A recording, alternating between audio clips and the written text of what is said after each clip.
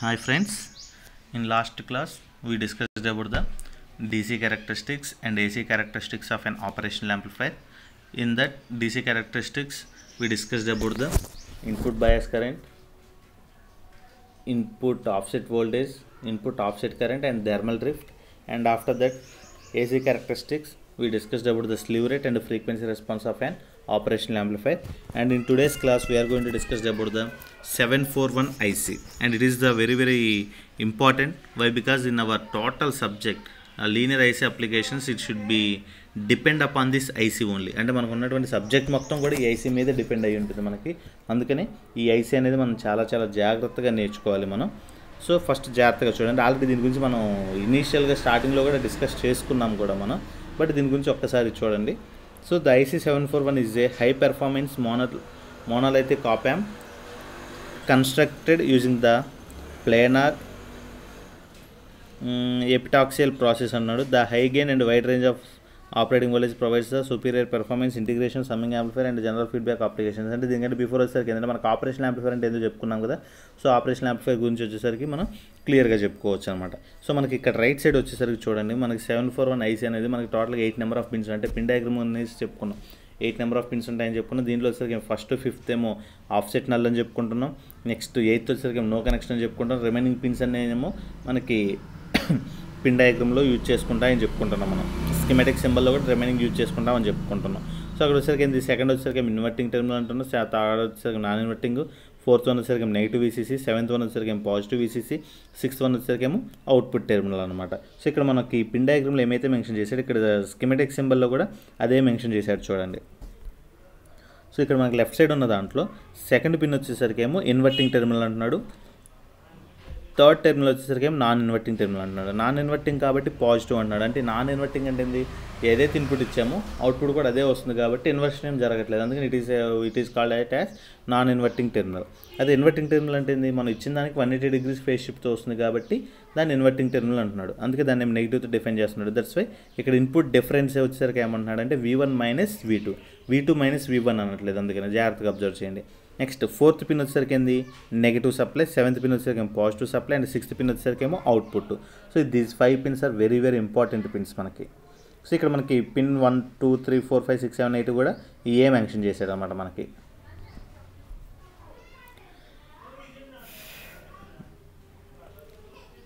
Next features of IC seven four one. అంటే మనకి IC use చేయడం వల్ల మనకు వచ్చేటువంటి ఫీచర్స్ ఏంటి ఐసీలో?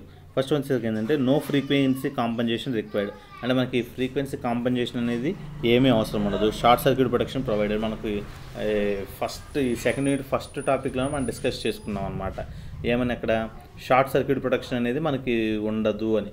ఎందుకని? ఇవన్నీ కూడా మనం ఒక టెక్నాలజీస్ని బేస్ చేసుకొని డిజైన్ చేసుకుంటున్నాం కాబట్టి then then then there is no direct connection in between those two here ఇక్కడ వచ్చేసరికి ఎలా చేస్తుంది ఇదంతా కూడా మనం సాఫ్ట్వేర్ని బేస్ చేసుకుని ఒక ఎలిమెంట్ నుంచి ఇంకొక ఎలిమెంట్కి మనం కనెక్షన్స్ ఇచ్చుకుంటూ పోతున్నాం కాబట్టి. So there is no short circuit connection should be established in between the two materials like that offset voltage null capability offset voltage అంటే మనం ఇందాక ప్రీవియస్గా డెఫినేషన్ చెప్పుకున్నాం. ఆఫ్సెట్ వోల్టేజ్ అంటే ప్రీవియస్గా మనం ఏదైనా ఆపరేషన్స్ పెర్ఫామ్ చేసినప్పుడు దాంట్లో స్టోర్ అయినటువంటి అవుట్పుట్ని దాన్ని జీరో చేసుకునే క్యాపబిలిటీ అనేది కూడా మనకి దీంట్లో ఉంటుందని చెప్పుకుంటున్నాం. Next large common mode rejection ratio and differential voltage range అంటే దీంట్లో వచ్చరికి ఏంది? కామన్ మోడ్ రిజెక్షన్ రేషియో కూడా ఎక్కువగానే ఉంటుందని చెప్పుకుంటున్నాం కదా. And like that no latchup latchup అంటే ఏంటంటే latchup is a type of short circuit provided in ICs అంటే ఇక్కడ uh, ల్యాచ్అప్ అంటే మీనింగ్ ఏంటంటే ఒక షార్ట్ సర్క్యూట్ అయ్యే ఛాన్సెస్ ఉంటాయి అన్నమాట మరి దీంట్లో ఏంది? ఆ నో ల్యాచ్అప్ అంటున్నాడు కాబట్టి ఆ షార్ట్ సర్క్యూట్ అయ్యే ఛాన్సెస్ అనేవి కూడా దీంట్లో ఏమీ ఉండవు. So it is the this are the features of IC seven four one అని చెప్పుకోవచ్చు. నెక్స్ట్ ఇప్పటివరకు వచ్చేసరికి మనం ఇదంతా కూడా ప్రీవియస్గా ఇప్పటివరకు డిస్కస్ చేసుకుని మొత్తం కూడా ఐసీ సెవెన్ ఫోర్ వన్ బైజీ బీజేటీ బైపోలర్ జంక్షన్ ట్రాన్సిస్టర్స్ని బేస్ చేసుకుని మొత్తం ఇప్పుడు మనం డిస్కస్ చేసుకున్నాం అన్నమాట. ఇప్పుడు వచ్చేసరికి ఏమైపోతుందంటే మనకి FET FET input operation amplifier వచ్చేసరికి ఎలా వస్తుంది అనేది దీంట్లో చూస్తాం.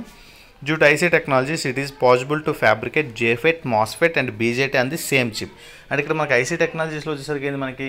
డిఫరెంట్ డిఫరెంట్ యూజ్ చేసుకుంటున్నాం కాబట్టి then we don't need to use only BJT or only FET or only MOSFET మనకు ఉన్నటువంటి అడ్వాంటేజ్ ఏంటంటే మనం ఎనీ టైప్ ఆఫ్ ట్రాన్సిస్టర్స్ అనేది సరే మనం యూజ్ చేసుకోవచ్చు అనమాట దీంట్లో. అందుకని వచ్చేసరికి ఏమంటున్నాడంటే due to IC technologies it is possible to fabricate మనకు పాసిబుల్ అవుతుందన్నమాట. బట్ ఇక్కడ డిఫరెన్షియల్ యాంప్లిఫైర్ కానీ మనం యూజ్ చేసుకున్నట్టయితే టూ ట్రాన్సిస్టర్స్ కూడా సేమ్ టైప్ ఉండాలనుకుంటున్నాం. అంటే ఇక్కడ బీజేటీ యూజ్ చేసామంటే ఫస్ట్ దాంట్లో సెకండ్ దాంట్లో కూడా బీజేటీ అంతేగాని ఒక దాంట్లో బీజేటీ ఒక దాంట్లో ఫెట్ యూజ్ చేస్తామంటే పాసిబుల్ అవ్వదన్నమాట. అందుకని జేఫెట్ మాస్ఫెట్ బీజేటీ అనేది సేమ్ చిప్ అంటున్నాడు. Thus the limitations of a four stage op amp లైక్లో input resistance, high biasing currents high frequency performance extra can be improved and దానివల్ల ఏమైపోతున్నాయి అంటే దాంట్లో వచ్చినటువంటి లిమిటేషన్స్ అన్నీ కూడా దీంట్లో ఏమైపోతున్నాయి అంటే ఇంప్రూవ్ అవుతున్నాయి అనమాట combining the devices like JFET MOSFET and BJT to design op such op amp amps are called high frequency operation amplify BiFET op amps and BiMOS op amps these op amps are special using three stage architecture అంటే ఇక్కడ వచ్చేసరికి ఏంటంటే వాటన్నిటిని base చేసుకుని ఇక్కడ design చేస్తున్నాడు అంటున్నాడు. ఏమేంటిది ఇక్కడ?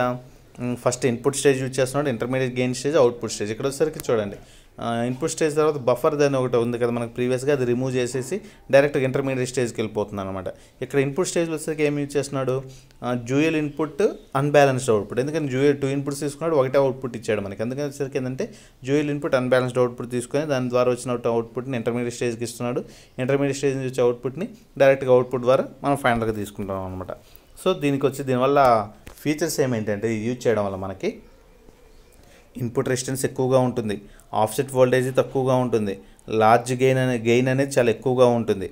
బ్యాండ్ విడ్త్ ఎక్కువగా ఉంటుంది. ఇన్పుట్ బయాస్ కరెంట్ అనేది తక్కువగా ఉంటుంది. ఇన్పుట్ బయాస్ కరెంట్ అంటే మనం ఇందాక డెఫినేషన్ ఏం చెప్పుకున్నాం? Difference between. అంతే కదా? ఇన్పుట్ బయాస్ కరెంట్ అంటే సారీ ఆల్జ్ average.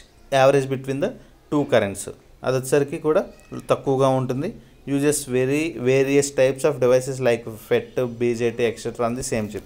ఇవన్నీ కూడా మనం ఒకే దాంట్లో యూజ్ చేసుకుంటాం. సో ఇవన్నీ కూడా ఏంటంటే మనకి ఈ features of operation amplifier by using FET అని చెప్పుకోవచ్చు అనమాట next measurement techniques of op amp parameters అంటే ఇక్కడ ఇందాక మనం ప్రీవియస్గా డీసీ క్యారెక్టరిస్టిక్స్ అని చెప్పుకున్నాం కదా. DC characteristics input bias current input offset current input bias current thermal drift అని మళ్ళీ అవే వస్తాయి అన్నమాట మనకి ఇక్కడ. ఇక్కడ ఏంటిదంటే first measurement techniques of op amp పారామీటర్స్లో first one వచ్చేసరికి ఏంది? Measurement of input offset current so the circuit and the measurement is exactly similar as input offset current for the measurement of input bias current అదే చెప్పుకున్నాం కదా input bias కరెంట్కి మనం ఏదైతే చేస్తున్నాం అనుకుంటున్నామో ఇక్కడ కూడా సేమ్ అదే వస్తుందని చెప్పుకున్నాడు. Once the two input currents IB one and IB two are measured the output sorry the input offset current IIOS can be measured as IIOS is equals to IB one minus IBT ఇందాక మనం V one minus V two తీసుకున్నాం. ఎందుకని? V one అంటేనేమో non inverting అంటున్నాం. V two అంటేనేమో inverting అంటున్నాం. ఆ V వన్లో ఫ్లో అయ్యే కరెంట్ వచ్చేసరికి ఐబీ వన్ వీ టూలో ఫ్లో అయ్యే కరెంట్ వచ్చేసరికి ఐబీ టూ అనమాట అందుకని వచ్చేసరికి ఏమైపోతుంది మనకి? IB one minus IB two అవుతుంది అనమాట next measurement of input offset voltage and PSRR ఇందాక లాస్ట్ మనకి సిఎంఆర్ఆర్ తెలుసు. అంటే కామన్ మోడ్ రిజెక్షన్ రేషియో తెలుసు. బట్ ఇక్కడ వచ్చేసరికి ఏమవుతుంది? పిఎస్ఆర్ఆర్ అంటే పవర్ సప్లై రిజెక్షన్ రేషియో అనమాట పిఎస్ఆర్ఆర్ అంటే.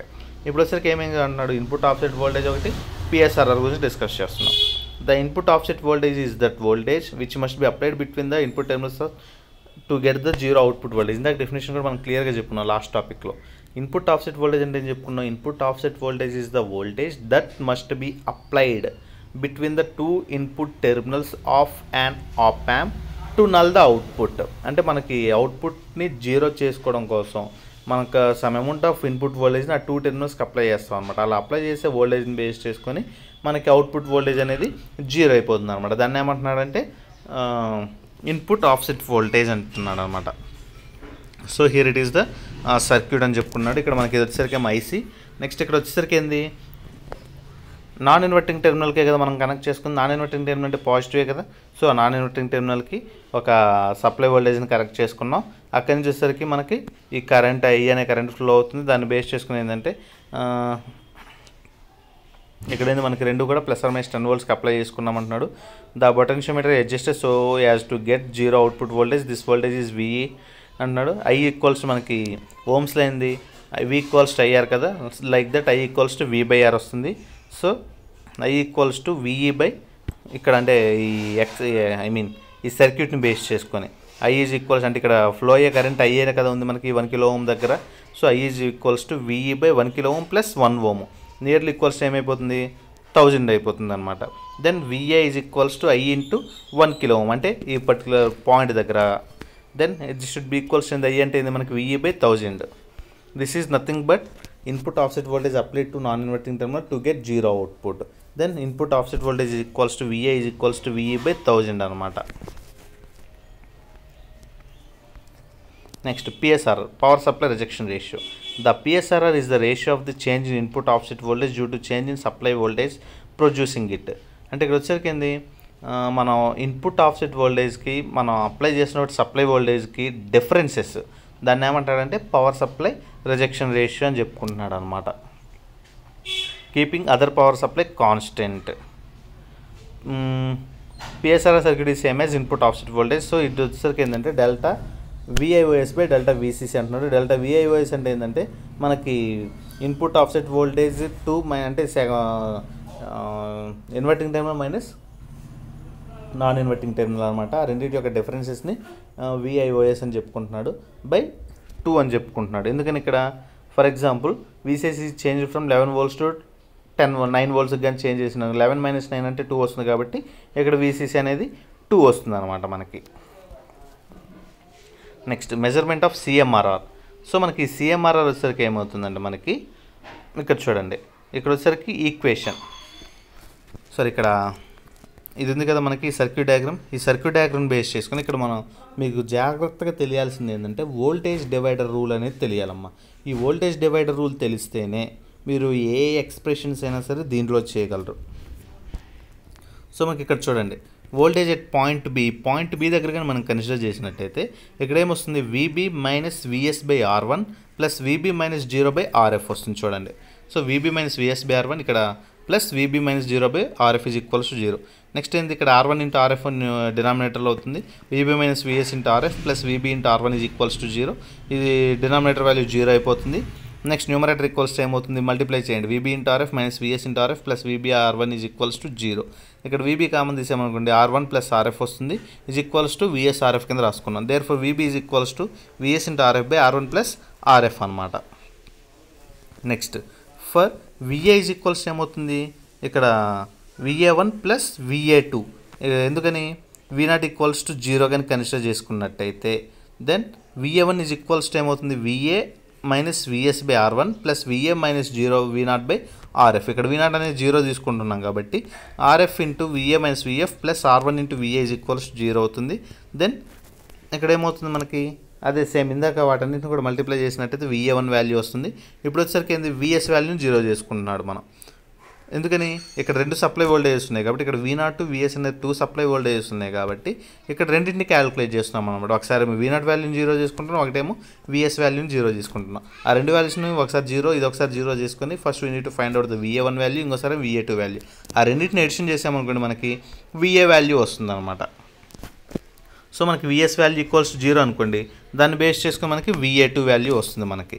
సో ఇక్కడ కూడా అదే వస్తుంది మనకి. So VA two equals to అది వస్తుంది మనకి. సో ఈ రెండింటి వచ్చేసరికి ఏం చేస్తున్నాం మనం? Therefore VA's equals to VA VA one plus VA two next therefore differential voltage equals to ఏంది మనకి? ఇందాక ఇక్కడ మనకుంది కదా? డిఫరెన్స్ వోల్టేజ్ అంటే ఏంది? విఏ మైనస్ విబి అని చెప్పుకుంటాం కదా మనం. సో దాన్ని బేస్ చేసుకుని ఏంటంటే ఇక్కడ విఏ అంటే ఏమొస్తుంది మనకి? VSRF by first VB value VB minus VA కాబట్టి VSRF by R one plus RF ఇక్కడ ఈ రెండు కూడా మైనస్ ఆఫ్ అని వస్తుంది కాబట్టి minus VF RF by R one plus RF minus V not by R one by ఇది వస్తుంది అనమాట దెన్ ఫైనల్గా మనకి ఏమొస్తుంది అంటే బై అంటే వీ నాట్ బై వీడి చేసామనుకోండి R one plus RF by R one వస్తుంది. దెన్ దీన్ని బేస్ చేసుకుంది అంటే one plus RF by R one that is equals to AD so ఇక్కడ వచ్చేసరికి ఏంటంటే by knowing the values of R one and RF AD can be obtained so ఇక్కడ ఈ R one value RF value మనకు తెలిసినట్టయితే AD value వచ్చేస్తుంది కదా మనకి. So CMRR is equals to AD by AC so that is the ఇందాక మనకి definition కూడా చెప్పుకున్నాం. సిఎంఆర్ఆర్ అంటే ఏం చెప్పుకుంటామంటే differential gain by common mode gain అని చెప్పుకుంటున్నాం కాబట్టి so that is nothing but ఈ సిఎంఆర్ఆర్ అని చెప్పుకోవచ్చు అనమాట so remaining should be continued in the next class so ఇప్పుడు వచ్చేసరికి మీకు క్లియర్గా అర్థమై ఉంటాయి కదా దీంట్లో వచ్చేసరికి మనం ఏమేమి డిస్కస్ చేసుకుంటున్నాం అనేది.